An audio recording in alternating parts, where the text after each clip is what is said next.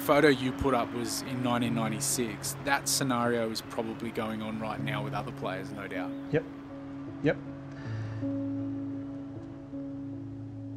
And I I think at a level higher, much higher than what we really know. Because I'm convinced, and maybe I've got some personal um, evidence to support this without disclosing anything, but for every player that a club is aware of that is going through a mental health condition, there will be other players at every one of the clubs that has not said, has not said anything because of the same fears that I had. You had a strained relationship with Denis Pagan. Do you think it was a result of what you were going through? Yeah, no doubt. Because the last thing I needed, and anybody who is who watches this, who's gone through these type of conditions or is at the moment, or you're supporting somebody who has, you'll understand the negative, toxic, internal conversations that are going on. A two-time best and fairest premiership player, vice captain, life member, Hall of Fame inductee, had no confidence, hated the person that he'd become, saw no positive self worth that he had about what he did or to the organisation and the people that he was engaging with, to the point where I wanted to end my life. So I was so negative and I had no ability or emotional intelligence to break that thought process, to reach out and ask for help, to invest the time to learn the skills that helped me to begin to get an understanding and then control back in my life, like I'd done with my entire footy career. So I was so negative towards myself. The last thing I needed was a coach that was was negative. And Denis was a hard taskmaster, um, and I'm grateful for what he was able to do with a very talented, immature group of players. Um, and history history supports that. But there were so many times where I just wanted a cuddle. I wanted a hug, pat on the head. I just wanted I wanted to be loved because I'd fallen out of love with myself. If that sound, if that makes sense, I hated who I was, and it was really difficult because I'm fighting this private internal battle, and I've got a really demanding coach who's going really hard and pushing me as a, cap, a vice captain, and he had every right to. I just wish I'd given him the opportunity and taken the chance. Who knows what the response would have been, but I, I certainly contributed to it. There's no doubt in my mind.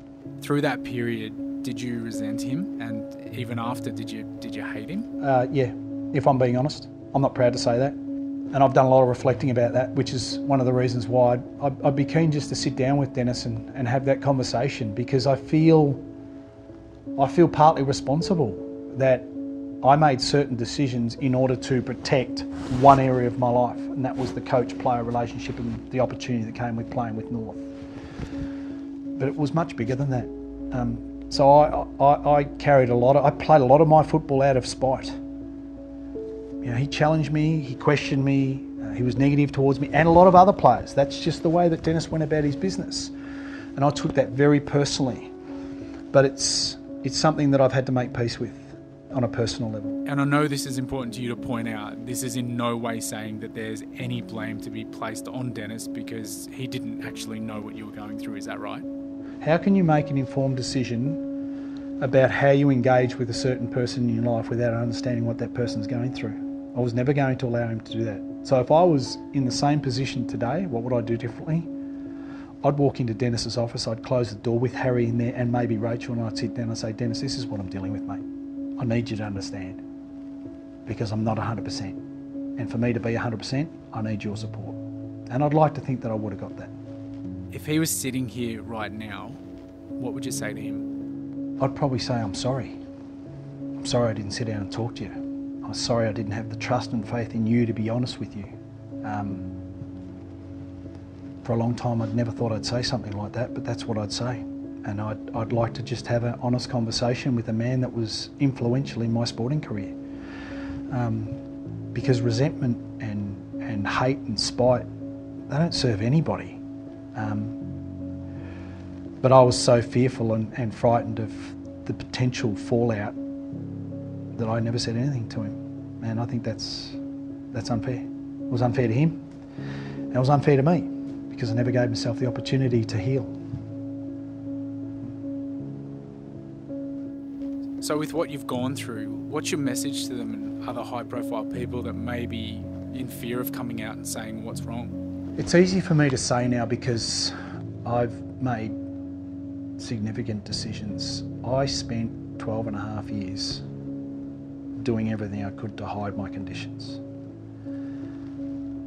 I've come to realise that all of the things that I was convinced that I would lose my father's relationship, the relationship that I have with my wife, all of my former teammates were great mates. But in particular, Glenn Archer, Anthony Stevens, Ian Fairley, Anthony Rock, and two non footballing mates. They were my closest friends, male friends, during that period. I can't tell you the number of times where I was on the verge of tears in their company at a football club, on a plane, at a hotel, about to go out into battle, at someone's house, and I desperately wanted to talk to them. But I never allowed myself to do that, never once, because I was convinced that if they knew that I was living with mental health conditions, they would not want to be a part of my life, and I wasn't prepared to sacrifice that. Yet, when I eventually decided to tell my story publicly, 1st of March 2006, all of the things that I thought that I would lose, I never lost. I never lost them. So I spent 12 and a half years of my life convincing myself that I cannot take the risk of telling the key people in my life because I'll lose them. So, what is my message? My message would be the same for elite level football players, coaches, administrators, and people in the broader community, like your fan base. You can still be incredibly successful whilst living with mental health conditions. It doesn't have to stop you or prevent you. It's a really difficult road, but we prioritise our physical health because it's important. Why is it important? We want to live as long as we can. We want to be fit, we want to be healthy, we want to be able to perform at work, we want to be able to do the things outside of our professional life. So, human beings attach a, a significant intrinsic value to our physical health. Our emotional health, our ability to cope mentally, is just as, if not more important to our physical health. Why would I say that? If we look at our, our body as a vehicle, our carriage to get us from point A to point B are our arms and our legs and our physical body. And our motor is under our bonnet right here. And when you make the decisions that I made and I ignored the fact that my motor wasn't running well, eventually it manifested itself physically. I can't tell you the number of games that I played, and my last 184 games of football at North and Sydney were all played under the influence of depression, anxiety, and obsessive compulsive disorder. I played a number of games, a lot of games, where I was there physically, but I was not there emotionally. I was broken spiritually. I was lost. So, my message to anybody that sees this is if you aren't feeling like, or you are noticing that there is something that is having a negative impact on your ability emotionally, approach it exactly the same way as you do physically. Because the sooner you get to a doctor, sooner you can understand what the issue is, sooner you can develop a plan to help you recover from the injury of your mind, like you would with a hamstring or a calf muscle or any physical injury. And I don't think sacrificing your health mentally and emotionally is worth anything. I think you need to prioritise it. And I think that when we can do that, people have a greater ability to cope, overcome challenges and obstacles, and then enjoy everything that life's got to offer. So, what's the role that Puka Up is playing? Puka Up is it puka is a Hindi word and it means authentic and genuine. And I was neither of those two things for 12 and a half years. So they're important daily reminders to me that I need to be authentic and genuine when it comes to my mental health, and I am. But it's also a message that we're trying to educate and empower other people to, to be, because when you're open and honest about your mental health, you're not spending any time pretending to other people that you're healthy and well and happy if you're not. And what we are focusing on with Puka Up is our vision is to stamp out suicide. Why is that important? Because in 2016, 2,866 people ended their lives by suicide. That's seven people a day. 2,151 were men, 715 were women, and 65,500 people attempt the same outcome every year in Australia. This is an issue that is not gender specific. This is a human being problem. So by the end of today, there are seven people and seven families and seven communities that are having to come to terms with the fact that those seven people will not come back into their family or friend networks or communities again. So, our vision is to stamp out suicide because I genuinely believe that suicide is an outcome to a crisis, and I don't believe people need to get into a crisis before they start to ask for help. And unfortunately, without this being critical of the mental health industry and sector, most of the attention, the investment, the services, and the wonderful people that, that help people in crisis are focused at the crisis end. Puka Up wants to fundamentally shift the focus away from crisis to normalising mental health and emotional well-being, educating people and empowering people that when we prioritise our mental health like we do our physical health, we prevent a crisis. And when we prevent crisis, we prevent the outcome, which is suicide. And that's what we do. Have any of the teammates that you were worried about coming forward to um, come out since and said, look, I knew something was wrong or well done? Do you think that they actually knew? Uh, it's a good question. I've, it's, it's, it's a really good question because um, we've done a Puka Up podcast series. If people are interested, it's on Podcast One or iTunes, P U K A U P. Series one was with a number of high profile people. My first guest was my former teammate at North Melbourne and then an assistant coach at Sydney, Johnny Longmire.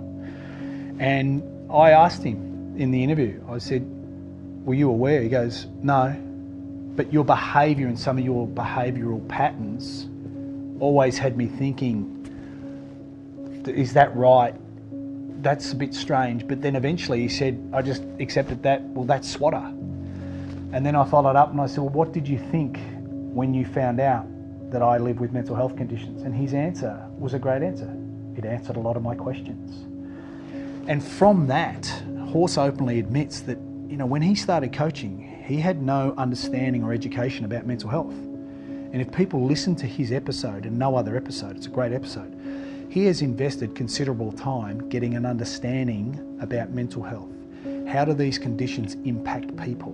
because he plays a really important role. He's got 42 players, he's got coaching staff, he's got support staff, he's got boards, he's got sponsors.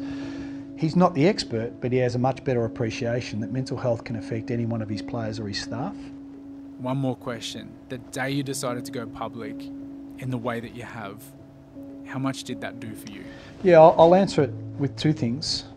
Um, up until the 1st of March 2006, I, in everything that I did outside of the four walls of my home, I lived a lie every day since the 9th of August 1993 until the 1st of March 2006 because I invested all of my effort pretending to people like you, my teammates. We're in an auditorium like we are here at Arden Street, coaches, everybody, my dad, my family.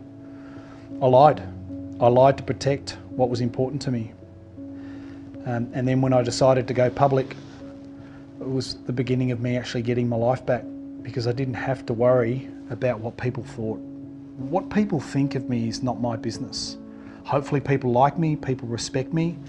Um, but if they don't like me and they don't respect me, I'm actually comfortable with that because what I now do is I've lived with mental health conditions. Am I cured? Probably not, because I still have certain situations in my life or events that cause me stress. But I don't carry any shame. I'm not embarrassed. I've developed a skill set that allows me to manage certain situations. And I do all of the things that I should have done many years ago to prioritise and maintain my mental health. Um, that's good because I'm happy. Um, I've got three beautiful kids. I've got a great wife.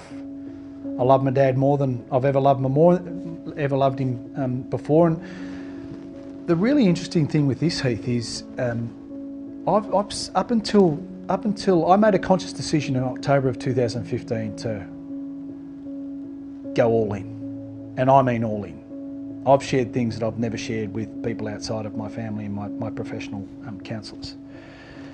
And what's really interesting is that um, when you're people are going to make their own opinion about what I'm about to say. Men are expected to behave a certain way.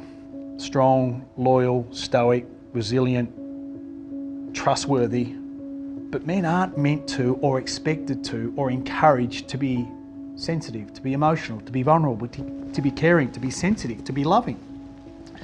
Because that doesn't fit into the framework which is masculinity. Well, of the seven suicides every day in Australia, six are men. So, of the 2,866 that tragically lost their lives in 2016, 2,151 were men. Men are really struggling, and I'm not saying women aren't, but we expect and accept that women will talk, they're emotional, they have feminine traits. But make no mistake, there's plenty of strong, tough, loyal, stoic, resilient women out there, and strong women. But society has an expectation with regards to a way that a man needs to behave and a way that a woman needs to behave. I don't agree with that. And I think that this notion of masculinity is fundamentally flawed. And the, one of the great benefits uh, to me personally in the work that I now do is I have questioned, reflected, and changed my view with regards to masculinity.